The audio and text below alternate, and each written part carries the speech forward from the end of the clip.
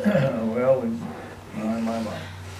All right, let's shift gears in our story now, and off the scene, going off of the scene now, as we begin tonight, going off of the scene will be the Medes and the Persians. And the next empire that uh, Nebuchadnezzar saw would, would be the, the Greeks. And wouldn't you just love to be able to understand the last six or seven chapters of Daniel in every detail? Man, I would just love that. I think I really would give everything that I have if I could understand completely the last chapters in the book of Daniel.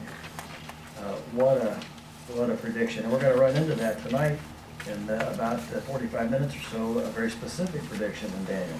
So in your notes now, here, here's where we're at. We've looked at all these people, places, things, and groups.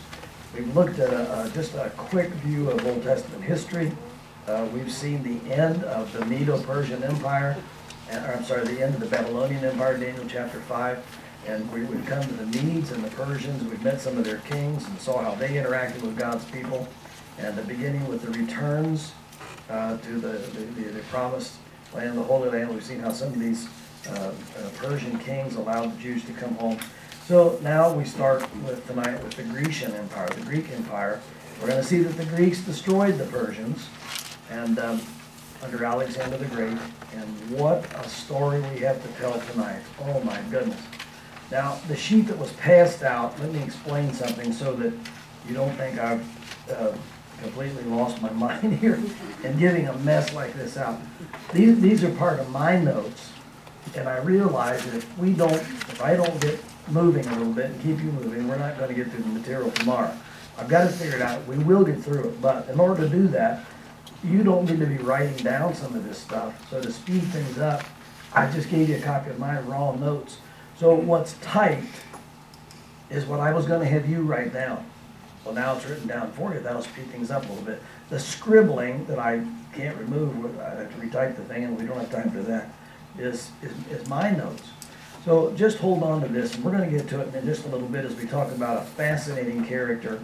Everybody's heard his name, and uh, he looked a lot like Brad Pitt, I've heard. I don't know.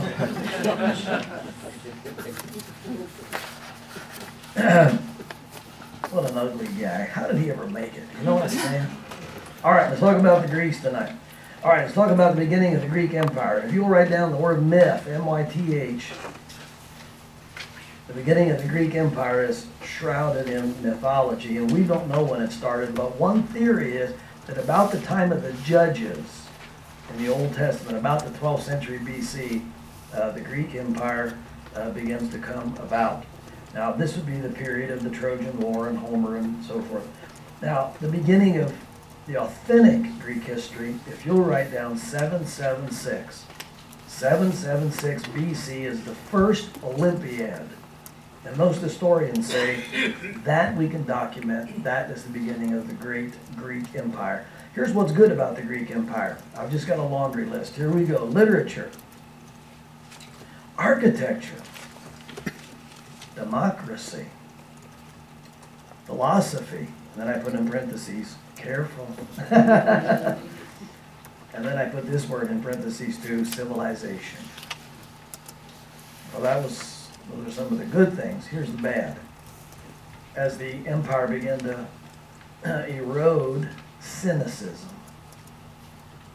And a you've been around a cynic, everything's... Uh, like this guy right here. See this? This is a prime example. Uh, uh, polytheism, that's a weakness, polytheism. And I put then philosophy. On both lists. And we mentioned this a few minutes, well, an hour or two ago. The emphasis on the body and the gymnasium. Bad, bad, bad. With its attendant homosexuality. The breakdown of marriage and cruelty towards children. And the Romans picked that up. Now, I want to give you a quote, and here's the quote. We're, we're, we're jumping ahead in the story just a little bit. The Romans conquered the Greeks, and the Greeks returned the favor. I want you to remember that. The Romans, we're going to see that later on this evening, possibly in the morning. The Romans will be the next big empire. Uh, well, the next big empire. We're going to have Alexander's generals here. but Greek thought conquered the Romans. Well, why even mention that? This is the 21st century. We're from Indiana or Kentucky or Florida, Missouri, wherever you're from. Is the 21st century. What do we care about that? Because a lot of this foolishness and wickedness, the bad part of the Greek Empire, is still with us today. It's still with us today.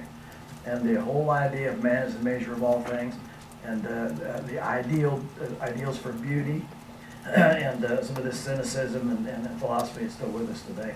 So if you'll mark that at 776, good, good, good. The Hellenistic states came into being between 776 and 500. And the wars with Persia lasted from 500 BC to 331 BC. Now, uh, let me say that again because this, this is important.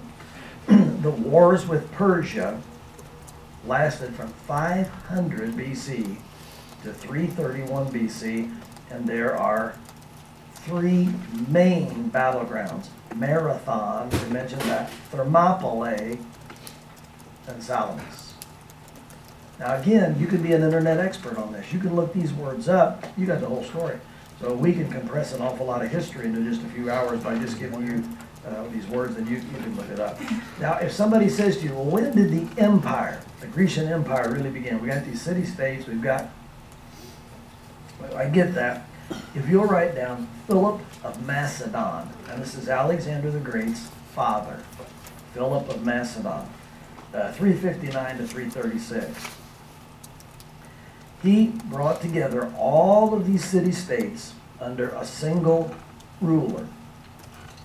Now, he was not a Greek, strictly speaking, he was a Macedonian, and he wanted to lead this united Grecian Empire against Persia, but he didn't get the chance because his wife, supposedly, we don't, he died suddenly. Let's put it that way. And they didn't get along well. The neighbor was, it was the talk of the neighborhood. It was terrible. The theory is that she poisoned him, but not before he had trained his young son Alexander to carry out his ambition. So all we've done so far is look back in the myth a little bit, and here's Macedon and Greece and here we have all these little city-states united under Philip of Macedon, king of Macedonia. He brought all these together, and then he died. So now, this brings us to one of the most fascinating people in history, and he's mentioned in your Bible, not by name, he's in there. And this is Alexander the Great.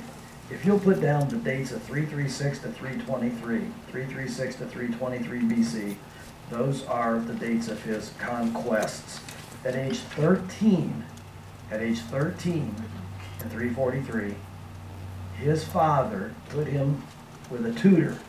You know what the tutor's name was? Aristotle. That's right, the Aristotle.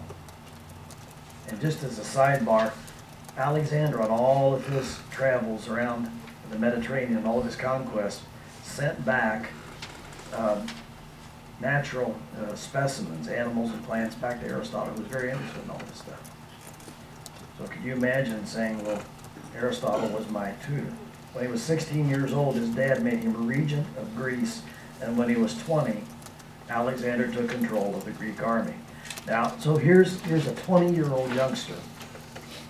The treasury's in debt.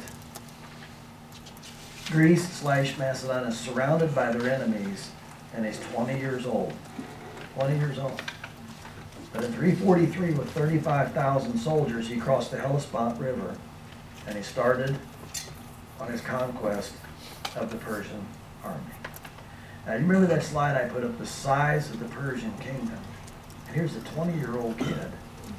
And uh, as my father-in-law used to put it when he'd lecture on this, he said, his treasury is about bankrupt and he's surrounded by his enemies, but this guy just didn't know the meaning of the word quit. Well, he defeated the Persians at the Granicus River. That's a big battle in Asia Minor. And then at Gordium, he goes into the temple of Zeus. And there's a big knot in the temple. It's called the what?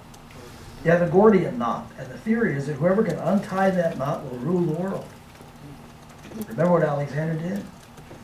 Took his sword out, just cut it in two. Now, the scene that's in my mind when I hear that is Raiders of the Lost Ark.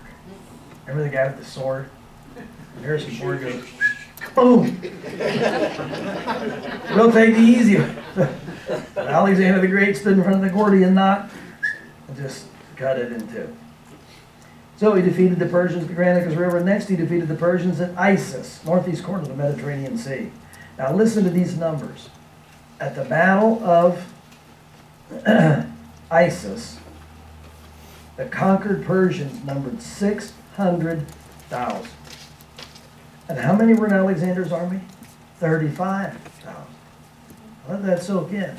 And on this occasion, this is where he uh, conquered the wife and children of Darius III.